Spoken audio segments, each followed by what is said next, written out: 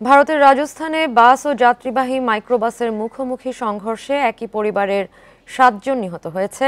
আহত হয়েছে আরও দুইজন।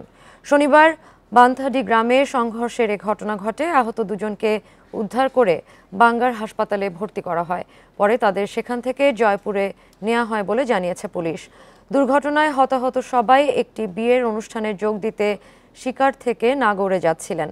তবে কি কারণে দুর্ঘটনা ঘটেছে তা এখনও নিশ্চিত হওয়া যায়নি।